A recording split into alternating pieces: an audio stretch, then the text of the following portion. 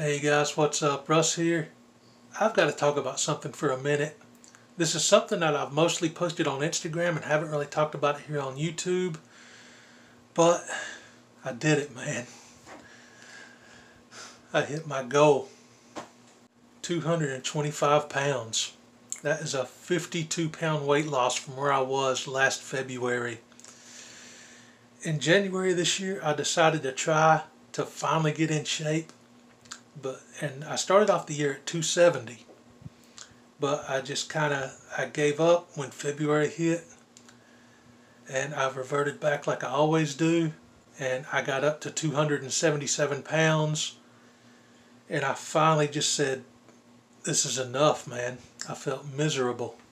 I had tried so many times in the past and just gave up just because of feeling depressed or just how to put it in the words just not worthy of doing something like that you know? Like when I tried in the past it was because I was trying to win someone's affection or get somebody to like me more.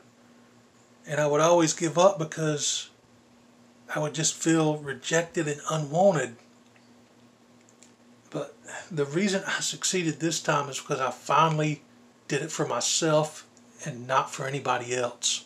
I've never really been proud of myself or confident in myself for anything, but the the feeling I have right now it's almost overwhelming. I'm proud of myself, and that's that's a new feeling for me.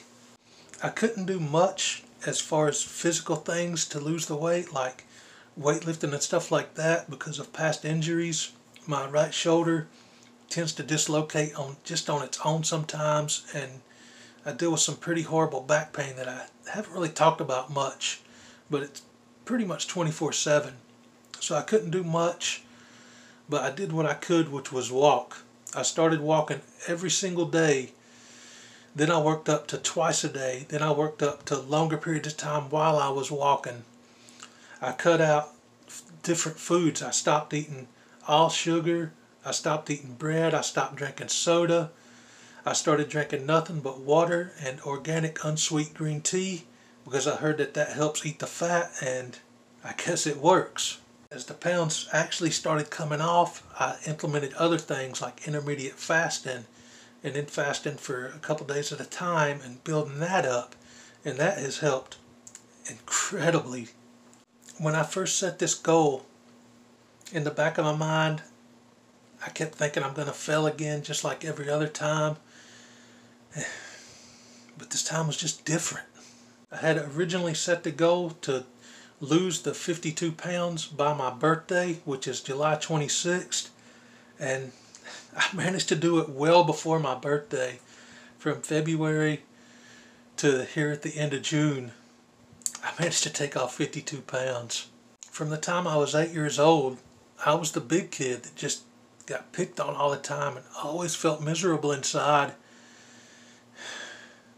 And this, right now, at 42 years old, I'm about to turn 43 at the end of next month, and I'm in the best shape of my life. I haven't been this weight since I was probably, God, 12 or 13 years old, man.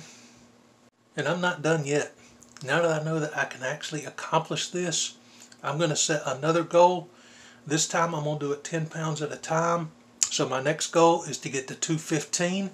And after that, I'm going to work on 205. And if I can get there, I'm going to work on getting under 200 pounds and try to get to 195, baby. By the end of this year, I'm going to be a machine, man. I just had to come out here and share that. I will catch you guys next time. Peace.